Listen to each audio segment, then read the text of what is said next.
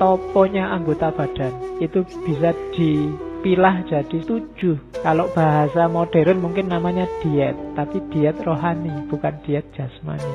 Nah, di Dewa Ruci ada topo diet rohania, diet mental biar mentalmu sehat secara fisik. Yang pertama mata. Matamu akan sehat secara rohani, rumusnya mengurangi tidur oh, ini berat dan zakatnya tidak menginginkan kepunyaan orang lain, tidak tamak. Mata kita akan sehat. Ngelirak ngelirik miliknya orang lain.